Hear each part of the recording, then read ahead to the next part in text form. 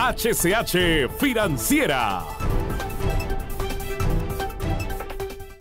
De acuerdo a una fuente del sector privado hondureño, las reformas al sistema bancario permitirán reducir la alta concentración de capitales, lo cual es la causa del crecimiento desequilibrado de la economía.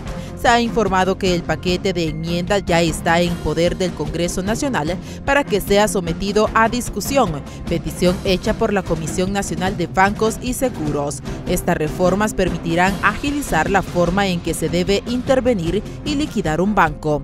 Los cambios tienen que ver con un punto de partida en el cierre obligado del Banco Continental, que en el año pasado cayó en liquidez por supuesto blanqueo de dinero y que desnudó una serie de errores del sistema financiero y el accionar de los entes reguladores.